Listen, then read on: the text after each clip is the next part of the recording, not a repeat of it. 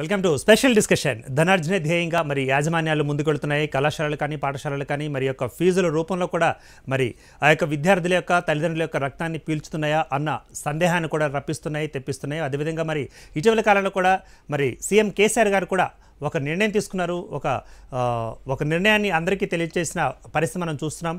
So ప్రతి ఒక్క నిరుద్యోగ టీచర్కు రెండు వేల రూపాయలు నెలకు అదేవిధంగా మరి ఇరవై ఐదు కేజీల ఆ యొక్క బియ్యాన్ని కూడా ఇవ్వడానికి సిద్ధం అంటూ కూడా మరి వారు కూడా ఒక తీపి కబురు చెప్పారు. ఇక ఇదే అంశం మీద మనతో పాటు మాట్లాడేందుకు మన స్టూడియోలో ఉన్నారు ఏ రమేష్ గారు వీరు అడ్మినిస్ట్రేషన్ కాలేజెస్. సో ముందుగా రమేష్ గారిని ఇన్వైట్ చేద్దాం. రమేష్ గారు నమస్తే వెల్కమ్ టు ద షో. అదేవిధంగా ఎంఏ రబ్బానీ గారు ఉన్నారు. వీరు ఫ్యాకల్టీ జూనియర్ కాలేజెస్ నుంచి వారు కూడా ఉన్నారు. వారు కూడా ఇన్వైట్ చేద్దాం. రబ్బానీ గారు నమస్తే వెల్కమ్ టు ద షో. అదేవిధంగా సత్య చౌదరి గారు ఉన్నారు బీజేపీ లీడర్. అదేవిధంగా మరి సినీ యాక్ట్రెస్. మరి సత్య చౌదరి గారు స్కైప్లో ఉన్నారు. మనతో పాటు ముందుగా వారితో మనం ప్రారంభిద్దాం. సత్య చౌదరి గారు నమస్తే. హలో.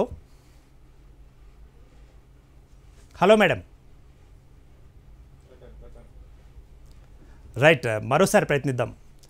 రైట్ ముందుగా రమేష్ గారు మరి ఇప్పుడు కాలేజీలకు సంబంధించి మనం చూస్తున్నాం ప్రతి ఏడు నెలలకు లేదా ఎనిమిది నెలలకు జీతాలు మాత్రమే ఇస్తారు. ఆ ఏడెనిమిది నెలలు కూడా ఇటీవల కాలంలో కరోనా యొక్క ఎఫెక్ట్ వల్ల జీతాలు పొందలేకపోతున్నారు.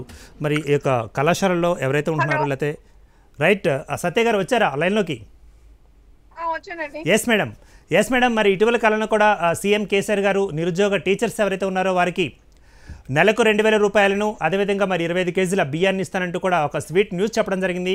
కానీ ఆ యొక్క కళాశాలలకు కానీ పాఠశాలలకు కానీ సంబంధించిన యాజమాన్యానికి మరి ఆ యొక్క స్టూడెంట్ కట్టవలసిన ఫీజులో ఇంత శాతం మేము కడతాం లేదా మాఫీ చేస్తామంటూ ముందుకు రాలేదు. ఒక బీజేపీ నాయకురాలుగా మీరేమంటారు?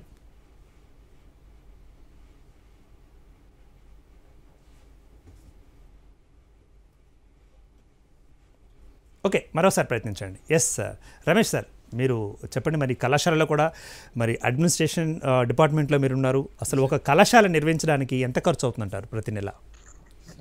ఒక హలో. ఇప్పుడు మెయిన్ తీసుకోవాలనుకుంటే ఒక సంస్థ. ఒక సంస్థని మనం నడపాలనుకున్నప్పుడు ఒక అడ్మినిస్ట్రేషన్గా నేను చెప్పాల్సింది ఏంటంటే సో ఒక్క నిమిషం సార్ సత్య గారు వచ్చారు లైన్లోకి. ఎస్ సత్య చౌదరి గారు లైన్లో ఉన్నారా?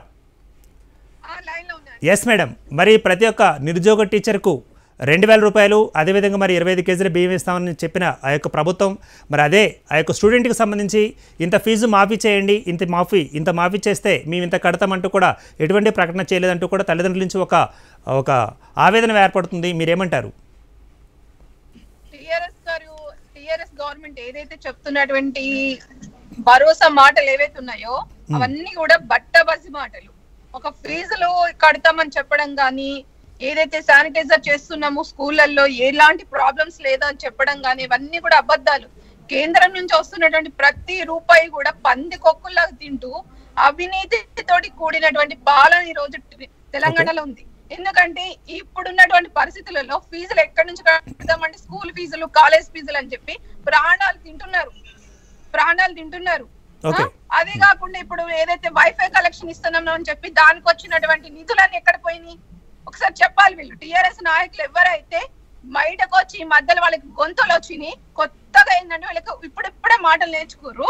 ఏదైతే నాగార్జున సాగర్ బై ఎలక్షన్స్ అప్పటి నుంచి ఇప్పుడు మనం చూస్తున్నాం దుబాకలు బుద్ధి చెప్పినప్పటి నుంచి కూడా ఎలాంటి మాటలు ఇచ్చినా ఎలాంటి హామీలు ఇచ్చినా అవన్నీ కూడా ఈ రోజు నాగార్జున సాగర్లో కలపడానికి ట్యాంక్ బండ్ల కలపడానికి మాత్రమే వాళ్ళ మాటలు తప్ప ఏది కూడా ఒక్క టెన్ పర్సెంట్ కూడా అమలు చేసినటువంటి దాఖలాలు ఎక్కడ లేవు.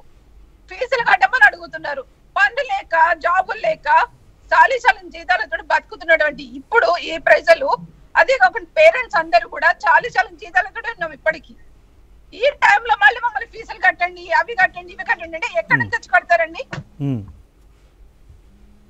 ఎక్కడి నుంచి తెచ్చి కడతారు? ఉద్యోగాలు లేక కనీసం దాదాపు సంవత్సరం నుంచి ఎవరు కూడా సరైన పనులలో లేరు. రైట్ రైట్ సత్య గారు అంటే ఇప్పుడు అడుగుతున్నా టిఆర్ఎస్ వాళ్ళు Hmm. మీరిచ్చే హామీలు కనీసం టెన్ పర్సెంట్ అన్నా మీరు పూర్తి చేయండి. పూర్తి చేయకుండా పట్టబాజీ మాటలు చెప్పడం మానేయండి ఇంకా. మిమ్మల్ని ప్రజలు ఎవరు నమ్మడానికి రెడీగా లేరు. విద్యార్థులు ప్రాణాలు పోతున్నాయి. నిరుద్యోగం తోటి ఉద్యోగాలు లేక చాలా మంది ప్రాణత్యాగాలు ఇస్తున్నారు చిక్కు శరం ఉంటే గవర్నమెంట్ బయటకు వచ్చి కనీసం ఇంత మందికి మేము ఉద్యోగాలు ఇచ్చాము. ఒక శ్వేత పత్రాన్ని రిలీజ్ చేయమని చెప్పండి. చాట గాని చవట తెచ్చినటువంటి గవర్నమెంట్లో బతుకుతున్నాం. పేదలకు రక్షణ లేదు. కనీసం పేద విద్యార్థులకు చదువుకుందామన్నా కూడా వాళ్ళకి ఫీజు రియంబర్స్మెంట్ ఉండని ఇవ్వనే ఇవ్వట్లేరు. రైట్ సత్య చౌదరి గారు అంటే ఇప్పుడు మరి ఓట్లు వేసి గెలిపించుకున్న ప్రజలు వారికి ఆ యొక్క సంక్షేమం వచ్చినప్పుడు వారి సంక్షేమం గురించి ఆలోచించవలసిన యొక్క ప్రభుత్వాలు అదే తీరులో వెళుతున్నాయంటారా? కరోనా సీజన్లో కూడా నమ్మకాలు అన్నారు ఎక్కడున్నాయండి ఎవరికి ఎవరికి లబ్ధి పొందింది ఏ ప్రజలు లబ్ధి పొందారు. ఏ విద్యార్థి రోజు ఫీజులు కట్టకపోతే ఫీజులు కట్టి వీళ్ళు చదివిస్తున్నారు చెప్పానండి ఎక్కడ లేదు. అన్ని అబద్ధాలు. వాళ్ళ ఒక పబ్బం గడుపుకోవడానికి వాళ్ళ కుటుంబాలందరూ ఉద్యోగాలతోటి గవర్నమెంట్లో ఏదైతే పవర్లో ఉండాలని చెప్పి చేస్తున్నటువంటి ఒక అన్యాయమైన పాలన ఇది. ఇది ఇట్లాంటి దొరల పాలన అన్నప్పుడు దొరలు ఎట్లుంటారో మాకు తెలియదు కానీ ఈ జనరేషన్లో మేము దొరలు చూస్తున్నామంటే ఈ రోజు కేసీఆర్ గారి కుటుంబాల్ని కేసీఆర్ గారి కేటీఆర్ గారిని దొరల్లాగా మేము ఈ రోజు చూడాల్సి వస్తుంది. మా పిల్లల్ని చూడాల్సి వస్తుంది.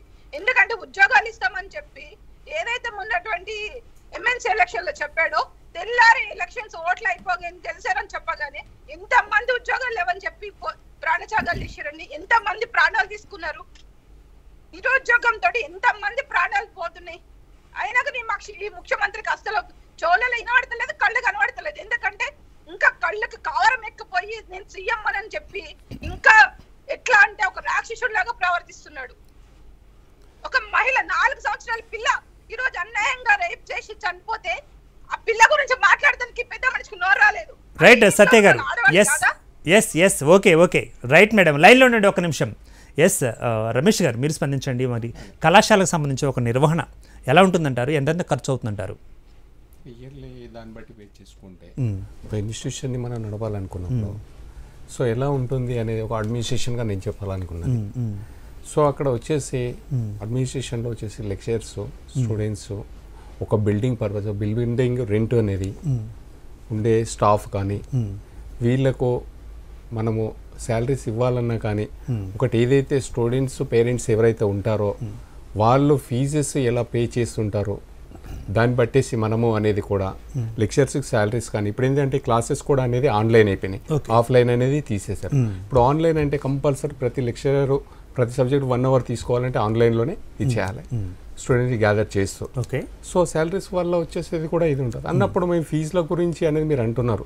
ఇంటి సంస్థ అనేది గవర్నమెంట్ కూడా కొంతవరకు ఇప్పుడున్న సిచ్యువేషన్ కరోనా దానివల్ల సో గవర్నమెంట్ అనేది కూడా కొంతవరకు ప్రైవేటు ఇన్స్టిట్యూషన్స్కి ఏదైనా కానీ కొంచెం సపోర్ట్ హెల్ప్ చేయగలిగితే ఫీజెస్ ఇప్పుడు ఒక ఫార్టీ పర్సెంట్ వాళ్ళు చేయగలిగితే సిక్స్టీ పర్సెంట్ అనేది పేరెంట్స్ మేము చేసి మేము కూడా ఫుల్ శాలరీస్ ఇవ్వడానికి అనేది కూడా మాకు పాసిబిలిటీ అవుతుంది. రైట్ రైట్ రమేష్ కుమార్ గారు ఇక రబ్బాని గారు మీరు ఒక సీనియర్ ఫ్యాకల్టీకి ఉన్నారు జూనియర్ కళాశాలలో బోల్డెన్ కళాశాలలో పనిచేస్తున్నారు.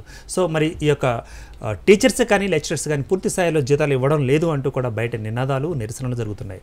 మరి మీరు కూడా ఒక లెక్చరర్గా ఉన్నారు కదా సో మీ యొక్క మనోభావం ఎలా ఉంది అసలు? Okay sir. యాక్చువల్లీ సార్ కూడా చెప్పినారు. యాక్చువల్లీ ఏంటిది అంటే పేరెంట్స్ అంటే పేరెంట్స్ కూడా మనం కంపల్సరీగా ఫీజెస్ పే చేస్తేనే ఫ్యాకల్టీకి మేనేజ్మెంట్ కూడా సపోర్ట్ చేయొచ్చు. ఫీజెస్ స్టూడెంట్స్ పే చేస్తలేరు. పేరెంట్స్ అనేది వస్తలేరు పే చేస్తలేరు. కరోనా సిచ్యువేషన్ ప్రాబ్లం గురించి కానీ వేరే వేరే డిఫరెంట్ డిఫరెంట్ సొల్యూషన్స్ ప్రాబ్లమ్స్ చూపించి ఫీజెస్ ఇలా ఇలా అని ప్రాబ్లం అని చూపిస్తున్నారు ఆ విషయంలో మేనేజ్మెంట్ వచ్చేసి పూర్తిగా మనం ఫీజ్ శాలరీస్ పే చేయాలి అంటే కంపల్సరీగా ఇబ్బంది పడుతున్నారు మేనేజ్మెంట్ కూడా.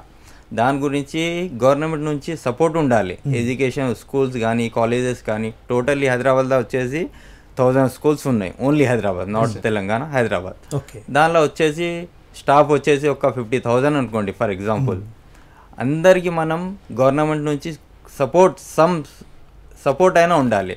ఒక టూ థౌజండ్ ఇచ్చేసి ఒక రైస్ బ్యాగ్ ఇస్తారంటే అది ఏం యూస్ఫుల్ అవుతుంది? నేను టీఆర్ఎస్ గవర్నమెంట్ అంటే అదే రెండు వేల రూపాయలు రబ్బాని గారు అదే రెండు వేల రూపాయలు అదే ఇరవై ఐదు కేజీల బియ్యం అనేది ఒక కూలీలకు ఇచ్చినట్లు ఇస్తున్నారంటూ కూడా కొంతమంది పట్టభద్రులు అంటున్నారు. మీరేమంటారు నేను జస్ట్ అంటున్నా సార్ కూలీకి అనేది కాదు. ఇంతకుముందు బిఫోర్ లాక్డౌన్ అయింది అప్పుడు some five hundred rupees central government నుంచి స్టేట్ గవర్నమెంట్ నుంచి టూ థౌజండ్ సమ్ ఇచ్చారు. గుడ్. బట్ ఇప్పుడు జస్ట్ రెంటెడ్స్ ఉన్నాయి. Rent house. చాలా మంది ఎంత ఫ్యాకల్టీ ఉన్నారు రెంట్ హౌసెస్. కానీ ఎలా పే చేస్తారు ఇది జస్ట్ మనకి తినడానికి కూడా కాదు. ఒక ట్వంటీ ఫైవ్ కేజీస్ అంటే అయిపోతుందా? కనీసం నా నుంచి నేను టీఆర్ఎస్ గవర్నమెంట్కి కేసీఆర్ గారికి అండ్ కేటీఆర్ గారికి రిక్వెస్ట్ చేస్తున్నా. కనీసం ఒక ఫైవ్ థౌజండ్ కూడా ఒక్క ఫ్యాకల్టీకి ఇస్తే హ్యాపీగా కొంచెం అడ్జస్టబుల్ అయిపోతాము.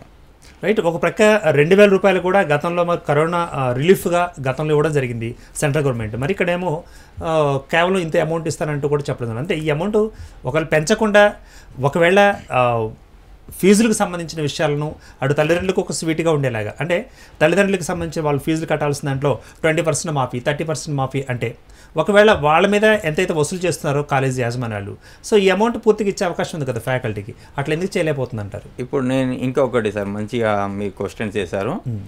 జస్ట్ వచ్చేసి ఇప్పుడు గవర్నమెంట్ నుంచి నోటీస్ పంపిస్తున్నారు. అంటే ప్రెస్ మీట్ పెట్టేసి కూడా కనీసం ఫిఫ్టీ పర్సెంట్ ఫీజ్ కలెక్ట్ చేయాలి. ఓకే ఎవరైనా ఫోర్ట్ చేశారు ఇబ్బంది పెట్టినారు పెడితే కంప్లైంట్ చేయండి. ఓకే కంప్లైంట్ చేస్తారు. కానీ ఫ్యాక్ కాలేజెస్ ఎలా రన్ అవ్వాలి స్కూల్స్ ఎలా రన్ అవ్వాలి? మళ్ళా ఫ్యాకల్టీ ఎలా నడవాలి వాళ్ళ ఫ్యామిలీస్ ఎలా నడవాలి? గవర్నమెంట్ సపోర్ట్ కూడా లేదు. కానీ మీరు ఫీజెస్ అనేది తీసుకోవద్దు. మళ్ళీ మేము ఎలా ఉండాలి? రైట్.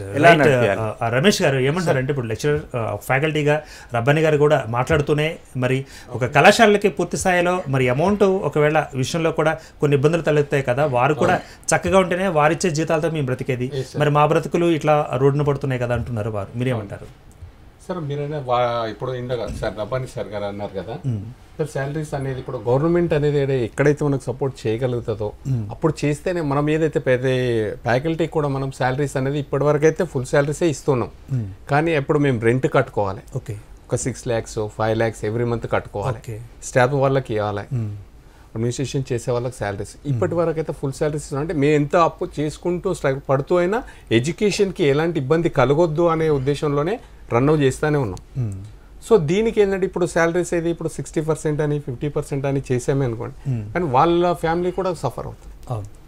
అది అవ్వద్దు అని అంటే కొందరు గవర్నమెంట్ మనకి ఏదైనా చేయగలుగుతుంది ఇప్పుడు ఏమన్నారు? ఇప్పుడు ఇందాక రబ్బాని సార్ ఒక మాట అన్నారు. ఏంటి?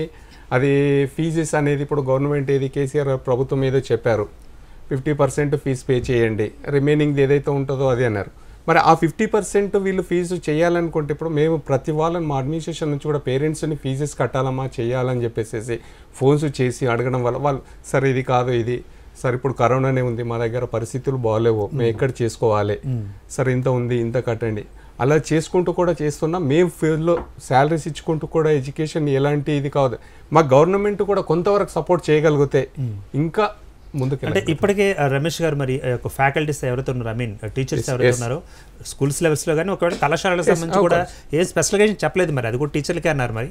ఒకవేళ ఫ్యాకల్టీస్కి ఉంటుందో ఉండదో కూడా తెలియదు లేదు. సో ఫ్యాకల్టీ కూడా నేను మాట్లాడుతున్నాను కదా సార్. ఎందుకంటే ఫ్యాకల్టీ అనేది ప్రతి లెక్చరర్ అనేది. ఒక schools లో ఒక టీచర్ కానీ. ప్రతి వాళ్ళది ఏంటంటే ఒక పేరెంట్స్ ఇప్పుడు ఏం చేస్తున్నారంటే స్కూల్స్ నుంచి కూడా ఏం చేస్తున్నారు? ఫోన్స్ చేసేసి అమ్మ మీ అబ్బాయి ఇంత ఫీజు కట్టాలి. పదివేలు ఉంది. రేపు ఎగ్జామ్ ఉంది. నెక్స్ట్ మంత్లో ఎగ్జామ్స్ ఉన్నాయి. మీరు ఫుల్ ఫీజు పే చేయాలి. వాళ్ళు ఎక్కడి నుంచి చేయాలి? ఇప్పుడు సార్ ఆల్రెడీ మేము పదిహేను వేలు ఫీజు అన్నారు. ఇప్పుడు పదివేలు కట్టాము. ఇప్పుడు ఆ కట్టలేని పరిస్థితి మేము. కరోనా సిచ్యువేషన్స్ ఉన్నాయి.